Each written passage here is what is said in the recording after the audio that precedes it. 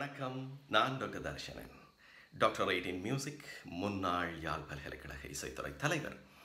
இன்றைக்கு நாங்கள் பார்க்க இருக்கிற விஷயம் இசை கல்வியிலே ரெண்டு துருவங்கள் ஸ்மார்ட் லேர்னிங் மற்றது ட்ரெடிஷனல் கிளாஸ் ரூம் லேர்னிங் இந்த ரெண்டிலே அதிக அளவில் மாணவர்களுக்கு நன்மையை தருவது எது? என்கின்ற முடிவுக்கு நாம் என்று பெறலாம் மனிதனால் உருவாக்கப்படுகின்ற எந்த ஒரு விஷயத்திலையும் ஸ்ட்ரென்த் அண்ட் வீக்னஸஸ் இருந்தாலும் இந்த ரெண்டுக்குள்ளேயுமே ஸ்ட்ரென்த் எதிலே அதிகம் என்றதை கண்டுபிடிக்கிறதுனாலே தான் நாங்கள் ஒரு ஆரோக்கியமான முடிவுக்கு வர முடியும். ஸ்மார்ட் லேர்னிங் இது இன்டர்நெட் மூலம் வீடியோ காலிங் மூலம் எப்படி நீங்கள் வாட்ஸ்அப்பில் வீடியோ கால் கதைக்கிறீங்களோ அதே போல் வீடியோ காலிங்குகளால் ஆசிரியர்கிட்ட படிக்கிறது. மற்றது நேரில் போய் கிளாஸ் ரூமில் இருந்து ஆசிரியர்கிட்ட கற்றுக்கொள்கிறது இந்த ரெண்டுக்குள்ளே இந்த ஸ்மார்ட் லேர்னிங் இதிலே ஆசிரியரை நீங்கள் உருவாக்குகின்றீர்கள். மாணவர்களும் பெற்றோர்களும் ஆசிரியரை உருவாக்குகின்றீர்கள். உங்களுக்கு விரும்பின ஆசிரியரை விரும்பின வகையில் கஸ்டமைசேஷன் கஸ்டமைஸ் பண்ணி உங்களுக்கு விரும்பின கிளாஸ் ரூமை நீங்களே உருவாக்கி கொள்ளுகின்றீர்கள். ஆனால் ட்ரெடிஷனல் லேர்னிங்கில் மாஸ்டரை நீங்கள் முதல் முறை பக்கத்தில் இருக்கிற மாஸ்டரை தெரிவு செய்கிறீங்கள்? அதாவது அல்லது ஒரு போக்குவரத்துக்கு சுகமான தூரத்தில் யாவது இருக்கக்கூடிய ஒரு மாஸ்டரை தான் தெரிவு செய்ய வேண்டும். ஆகவே அங்கே ஒரு மாஸ்டரையும் கிளாஸ் ரூமையும் தெரிவு செய்கிறதிலே ஒரு கட்டுப்பாடு அங்கே இருக்கின்றது. ஆனால் இங்கே வந்து ஃப்ளெக்சிபிலிட்டி மோ ஃப்ளெக்சிபிலிட்டி உலகத்தில் எங்கே இருந்தும் ஆசிரியரை நீங்கள் தெரிவு செய்யலாம். அதே போல் கிளாஸ் ரூமையும் நீங்களே தெரிவு செய்கின்றீர்கள். அப்போ பார்த்தால் தெரியும் நாங்கள் எந்த ஒரு விஷயத்தையும் ஒரு கட்டுக்குள்ளே இருந்து ஒரு இறுக்கத்துக்குள்ளே இருந்து படிக்கும் போதோ அல்லது அதனை வெளிப்படுத்தும் போதோ பரீட்சையில் நாங்கள் குறைய மார்க்ஸ் தான் எடுப்போம். குறையத்தான் பதியும். ஆனால் எங்களுக்கு பிடிச்ச இடத்துல எங்களுக்கு வசதியான இடத்துல இருந்து கொண்டு நாங்கள் படித்தால் அப்போ கதை புத்தகம் வாசிக்க நாங்கள் எங்கே போய் படிக்கிறோம்? படுத்திருந்து படிக்கிறோம் அது நல்லா மனதில் நிற்குது எத்தனை வருஷமும். ஆனால் பாடப்புத்தகத்தை எங்கேருந்து படிக்கிறோம் ஒரு கட்டுக்குள்ளே கிளாஸ் ரூமுக்குள்ளே மேசை கதிரையில் அப்படியே மற்றவர்கள் பார்வைக்கு முன்னிருந்து படிக்கிறோம். அதாலே அது ஈஸியாக இலகுவில் மறந்து போயிடுது ஒரு டிவியை நாங்கள் முந்தி தியேட்டரில் போய் பெருசாக பார்த்து பழகினோம். ஆனால் இந்த விஞ்ஞானத்தின் முன்னேற்றத்தினாலே பெரிய ஸ்க்ரீன் டிவி வீட்டுக்கு வந்துச்சுது. தியேட்டருக்கு போகிற ஆக்கள் குறைந்தது எண்ணிக்கையில் குறைந்தது.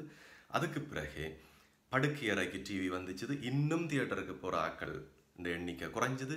அதுக்கு பிறகு இப்போ என்ன செய்கிறோம் ஹோலுக்குள்ளே போய் எல்லாரோடையும் இருந்து ஒரு படத்தை பார்க்குறதுக்கு சுதந்திரம் குறைவுன்னு சொல்லி ஒரு சின்ன துணுக்கியோ அல்லது ஒரு படத்தையோ கூட முழுமையாக பார்க்குறதுக்கு ஸ்மார்ட் ஃபோனில் கொண்டாந்து படுக்கை அறையில் படுத்திருந்தபடி பெட்டில் படுத்திருந்து பார்த்துட்டு அப்படியே நித்திரையா போயிடும். அப்படியே அது ஞாபகம் நிற்குது நீங்களே பார்த்துருப்பீங்கள் பெற்றோர்.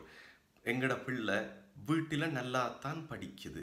ஆனால் பரீட்சையில் போனால் கோட்டை விட்டுட்டு வருது. நான் என்ன செய்ய?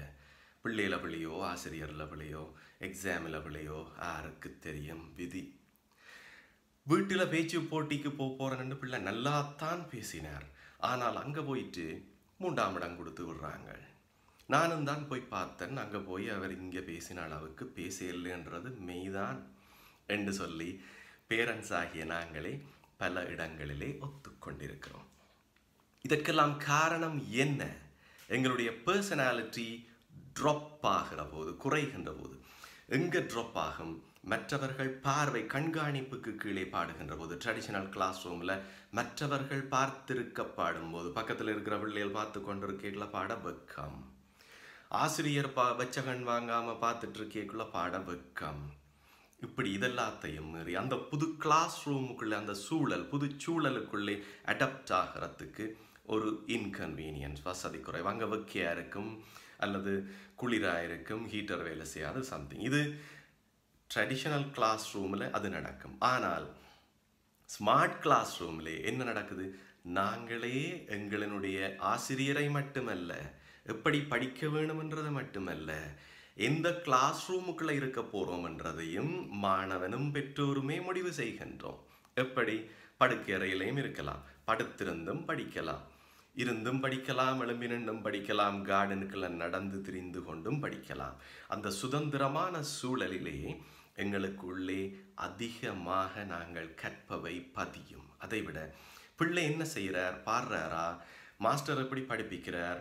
மாஸ்டர் நேரத்தை வீணாக்குறாரா அல்லது முழு நேரமும் படிப்பிக்கிறாரா கதைக்கிறாரா இடையில?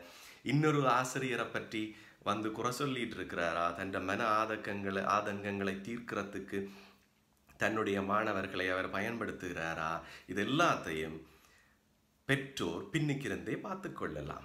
அல்லது வீட்டுக்குள்ளே போய் வரைக்குள்ள காதில் விழும். அதை விட கனவேர் நினைக்கக்கூடும். என்ன இருந்தாலும் பாடைக்குள்ள அது இந்த ஃபோனுக்குள்ளால மைக்குள்ளாலே அங்கே வந்து கேட்குற போது சரியா கேட்காதோ? அண்டு அது சரியா கேட்குதோ இல்லையோ? இன்றைய காலகட்டத்தில் நேரிலே எங்கட வாயால பாடி மற்றவர்கள் காதாலே நேரடியாக கேட்கின்ற சந்தர்ப்பங்கள் மிகவும் குறைஞ்சு போச்சு. ஃபோன் கதைக்கிறோம். மைக்குகளால தான் போகுது. ஸ்பீக்கருக்களால தான் மற்ற ஆளுக்கு கேட்குது. ஃபோனில் பாடுறோம். மற்ற ஆளுக்கு மைக்குகளால் போகுது ஸ்பீக்கருக்களால் கேட்குற ஆளுக்கு கேட்குது. ஃபோனில் வீடியோ காலிங்கில் செய்கிறோம் அதுவும் அதான் நடக்குது. ஃபோனில் வீடியோ ரெக்கார்ட் பண்ணுறோம் அதுலேயும் மைக்குக்குள்ளால் தான் வாய்ஸ் எடுக்குது ஸ்பீக்கருக்குள்ளால தான் பார்க்குறாக்களுக்கு வெளியில் சவுண்ட் விடுது. ஒரு சின்ன பர்த்டே பார்ட்டிக்கு போகிறோம் அங்கே டிஜே சிஸ்டம் கரோக்கி சிஸ்டம் போட்டுட்டு தான் மைக்கில் தான் பாட வேண்டியிருக்கு. அப்படி இல்லாமல் பத்து பேர் தான் இருக்கணும்னுட்டு டிஜே இல்லாமல் பாட விளக்கிட்டா பத்து பேரும் கதைக்கிற சத்தம் நாங்கள் பாடுற சத்தத்தை மிஞ்சி விடும். எவரும் எங்களோட பாட்டை கவனிக்க மாட்டார்கள். ஆகவே மைக்குக்குள்ளால போகிற வாய்ஸ் தான் இன்றைய காலகட்டத்திலும் இனிமேலும் எங்களுடைய குரல். மைக்குக்குள்ளால நாங்கள் ரெக்கார்ட் பண்ணி வெளிவிடுகிற பர்ஃபார்மன்ஸ் தான் இனிமேல் உண்மையான பர்ஃபார்மன்ஸ் அப்படி இல்லாமல் நேரடியாக பாடுறது எங்களோட வீட்டுக்குள்ள எங்களோட அப்பாக்கும் அம்மாக்கும் பிள்ளைக்கும் சகோதரத்துக்கும் பாடி காட்ட மட்டும்தான் உதவுமே தவிர வேறு வெளியில் போய் எங்களுடைய பர்ஃபாமன்ஸை செய்கிறதுக்கு மைக்குக்களால் பாடும்போது எங்களோட குரல் எப்படி இருக்குதோ அதைத்தான் நாங்கள் சரிப்படுத்தி பண்படுத்தி அதற்கான பயிற்சியை மேற்கொள்ள வேண்டும். அதற்கும் உதவுவது ஸ்மார்ட் லேர்னிங் ட்ரெடிஷனல் லேர்னிங்கில் மைக்கில் பாடுற வழக்கம் இல்லை. அப்போ ஸ்மார்ட் லேர்னிங்கில் தான் நாங்கள் ஃபோனின் மைக்குகளால் பாடுறோம். ஆசிரியர் அதை தன் ஃபோனின் ஸ்பீக்கர்களால் கேட்பார். திருப்பி ஆசிரியற்ற குரலும் ஸ்பீக்கருக்குள்ளால் இங்கே வந்து கேட்கும். அப்போ இப்படி இந்த ஸ்மார்ட் லேர்னிங்கில் இந்த நவீன காலத்துக்கு ஏற்ற மாதிரியான முறையில் எங்களுடைய பிள்ளைகளை இசையிலே உருவாக்கி கொள்ளுவதற்கு இது மிகவும் உந்து சக்தியாக இருக்கின்றது. அதை விட இன்னொரு விஷயம் எங்கட பிள்ளை பக்கத்தில் இருக்கிற மாஸ்டர்கிட்ட போய் படித்தா தான் அவற்றை வருஷ வெரு வருடாந்தம் நடக்கிற இசை விழாவில் பாட விடுவார். தன் ப்ரோக்ராம்ஸு கூட்டிகிட்டு போவார். ஒரு ப்ரோக்ராமு கூட்டிகிட்டு போனால் அதில் ஒரு நூறு பேரை ஒவ்வொரு தடவை வாங்கோ வாங்கோ என்று வரவழைச்சி அவ்வளோ பேருக்கும் பாடி காட்டிட்டு எப்படி இருந்துச்சு?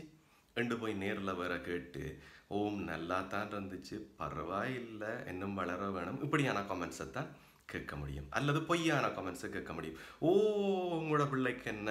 அது இது. பின்னால் போய் என்னத்தை பாடிச்சு? இப்படியான சந்தர்ப்பங்களை தான் நாங்கள் பார்க்க முடியும். ஆனால் இன்டர்நெட்டுக்குள்ளால் நாங்கள் படிக்கிறது மட்டுமில்லை ஆற்றுகை செய்கின்ற போது வீட்டில் இருந்து உங்களோட ரூமுக்குள்ளே இருந்து கொண்டே நீங்கள் ஒரு பாட்டை பாடி வெளிவிடுகின்ற போது வெளியீடு செய்கின்ற போது அது ஐயாயிரம் பத்தாயிரம் லட்சக்கணக்கான ரசிகர்களை அது அவர்களினுடைய வீட்டுக்கு போய் சேருகின்றது இலவசமாக. இப்போ ஒரு பர்ஃபார்மன்ஸை நாங்கள் செய்கிற போது கூட இங்கே நேரடியாக பாடினால் அந்த நாட்டு ரசிகர்கள் மட்டும்தான் ரசிப்பார்கள். ஆனால் இன்று புலம்பெயர்ந்து எங்களினுடைய உறவுகள் உலகம் முழுக்க பறந்து வாழுகின்ற சூழலிலே நாங்கள் இன்டர்நெட்டில் வீட்டுக்குள்ளே இருந்து பாடினால் அத்தனை நாடுகளில் இருக்கும் எங்களுடைய உறவினர்கள் சுற்றம் சூழல் நண்பர்கள் வேண்டியவர்கள் அபிமானிகள் அனைவரும் கேட்டுக்கொள்வார்கள். அப்போ எதிலே கச்சேரி வச்சால் எதிலே எங்களுடைய இசை நிகழ்வை நடாத்தினால் அதனை அதிகம் பேர் கேட்பார்கள் அதிகம் பேர் அதற்கு ஆலோசனை யோசனைகள் கமெண்ட்ஸ் போடுவார்கள் என்றதெல்லாம் பார்த்தால் ஸ்மார்ட் லேர்னிங் இன்டர்நெட் மூலமான கற்றல் கற்பித்தல் பெர்ஃபார்மிங் ஆற்றுகை செய்தல் இதிலே தான் இன்றைக்கு இசையின் எதிர்காலம் தங்கியுள்ளது. ஒரு உதாரணத்துக்கு நாங்கள் நினைச்சு பார்த்தால் முதல்ல கார் வாங்குற போது மேனுவல் கார் தான் கார் ஆட்டோமேட்டிக் காரா அது வழியில் நின்றா என்ன செய்கிறது கியர் மாறாட்டி ஒருவேளை கொழுவுப்பட்டா சிக்கிப்பட்டா என்ன செய்கிறது மேனுவல் கியரை சிக்கப்படுது அப்போ ஆட்டோமேட்டிக் கியர் அதை விட சிக்கப்படுறது கூடவா இருக்குமே? கூட எலக்ட்ரானிக்ஸ் எல்லாம் இருக்குது. அது சிக்கப்பட்டு நின்றா நாங்கள் என்ன செய்ய? இப்படியெல்லாம் இந்த ஆட்டோமேட்டிக் காரை எதிர்த்து கொண்டு இருந்தோம். ஆனால் இன்றைக்கு மேனுவல் கியரா மேனுவல் காரா அப்படின்னா என்ன? என்று எங்களுடைய பிள்ளைகள் கேட்கும் அளவுக்கு நாங்கள் ஆட்டோமேட்டிக் காரை அதிகமாக மிக அதிகமாக பயன்படுத்த தொடங்கிவிட்டோம். வாஷிங் மெஷின் தொடக்கத்தில் வாஷிங் மிஷின் வந்தபோது அது என்ன இருந்தாலும் கையால் துவைக்கிறது போல வடிவா துவைக்காது. இப்போ வாஷிங் மிஷின் இல்லாத வீடே கிடையாது. அதுக்கு பிறகு வாஷிங் மிஷினில் ட்ரையர் வந்துச்சுது என்ன இருந்தாலும் அது வெயிலில் காய விடுறது போல் துணிக்கு பாதுகாப்பு கிடையாது. ட்ரையர் வேண்டாம் வாஷிங் மிஷினை வேணுமெண்டா நாங்கள் வேண்டி பாவிக்கிறோம். இப்போ ட்ரையர் இல்லாத வாஷிங் மிஷினாக வேண்டாம். அது என்ன? காய விடுறதுக்கு மட்டும் நாங்கள் துவைக்கிறதுக்கு மட்டும் அவர்.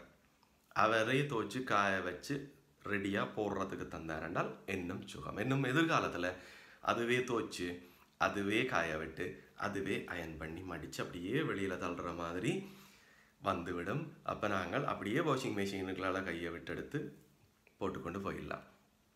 இப்படியான விஞ்ஞான முன்னேற்றங்கள் வரும்போது நாங்கள் மறக்கப் போவதில்லை எதிர்க்கப் போவதில்லை. ஆகவே இன்று நாம் இது சரி வருமா வராதா என்று சிந்தித்து கொண்டிருக்கின்ற இந்த இன்டர்நெட் மூலமான வீடியோ காலிங் மூலமான இசை கல்வி மிக விரைவில் அதுதான் கல்வி என்றும் ட்ரெடிஷனல் கிளாஸ் ரூம் கல்வியினால் இனிமேலும் பயனில்லை என்றும் நாம் கருதும் நாள் வெகு விரைவில் இல்லை. நன்றிகள் வணக்கங்களுடன் டாக்டர் தர்ஷனன்.